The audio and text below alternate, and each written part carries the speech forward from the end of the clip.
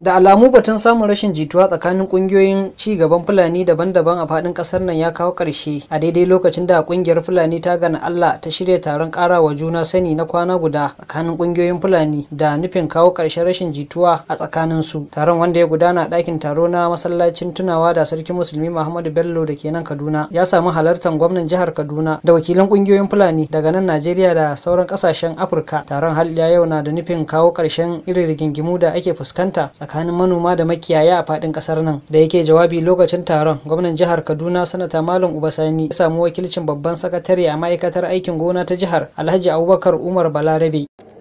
Kuma mun yi murna a tsari da aka zo da shi a ƙarƙashin wannan ƙungiya yau. Da harɗoɗi guda uku da aka nada akwai condition da aka bayar attached to their office. Na ɗaya ya kasance an samu kashi hamsin bisa ɗari na al'umman da ke kewaye da ɓangaren shi su shiga makaranta. Shi kan shi ɓangaren shi akwai nauyi da aka ɗora mishi. To wayannan initiative ɗin ina so ba ƙungiyar nan kaɗai ba sauran ƙungiyoyi su tabbatar da shi a ko'ina. Shi ma a nashi jawabin shugaban ƙungiyar miyatti Allah na ƙasa Alhaji Baba Usman Galjarma ya ce wannan lokacin ne da ya kamata daukacin al'ummar Fulani a nahiyar Afirka su haɗa kai don samun kwanciyar hankali da kawo ƙarshen rikicin manoma da makiyaya. ya kamata a fahimci cewa aikata barna ko aikata laifi ba fa abu ne wanda ya tsaya a kabila guda ɗaya kai ba.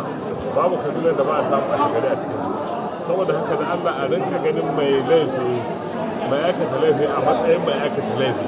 A daina ganin mai aikata laifi a matsayin bafulatan ne ba kowane bafulatan ne ba ne mai aikata laifi. Shi ma shugaban ƙungiyar gan Allah na ƙasa wanda ya bayyana damuwa akan halin da ake ciki a ƙasar nan ya ce yanzu ba su da lokacin samun rashin jituwa tsakaninsu da 'yan uwansu a Najeriya da ma nahiyar Afirka baki ɗaya.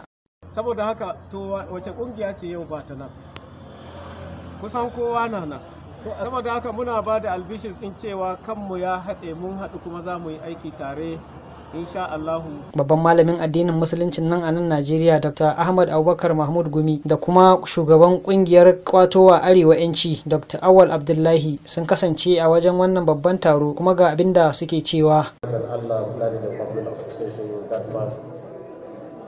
ba kawai ya tsaya akan wannan ƙungiya ba ne ya shafi ba kawai al'umma ta fulani ba a'a ya shafi ƙasar nan gaba ɗaya ce ba ƙungiyar fulani ba ce amma kuma akwai fulani a cikinta. Kuma muna aiki hand in hand wato haɗin gwiwa musamman da ita magban da kuma gabda har ila yau wasu shugabannin ƙungiyar da sauran waɗanda suka halarci taron sun bayyana yaƙinin cewa taron zai yi jagora wajen haɗa kan al'ummar fulani da manoma makiyaya a ƙasar nan baki ɗaya. Muhimmancin wannan taro a game da yadda mu fulani muka tsinci kanmu a yau. Shine muga ya dace mu zauna da junanmu maganar rarraba kai duk mu koma tsintsiya maɗaurin ki ɗaya. Shine muhimmancin wannan taro ne. Kowa farin cikin yansa saboda halin rayuwa da ake ciki kullum a ce jinsi ɗaya ne ake ta ƙalubalanta to ba ma jin daɗin shi. Amma haka alhamdulillah ana wannan kowa zai fahimci al'amura da suke tafiya insha Allah. Zaman lafiya ake so. Muhimmanci zaman taron ana son zaman. Wannan. Abun gaskiya ya fuke ni sosai yadda na gan shi. Saboda in ana yin haka ana yin haka. A ƙarshe dai wakilan ƙungiyoyin fulani a ƙasashen mali da kamaru da nijar da sauran ƙasashen sun sha alwashin isar da saƙon abubuwan da aka tattauna a wajen taron don samar da haɗin kai tsakanin al'ummar fulani a ƙasashen afirka baki ɗaya. Ƙarshen rahoton kenan.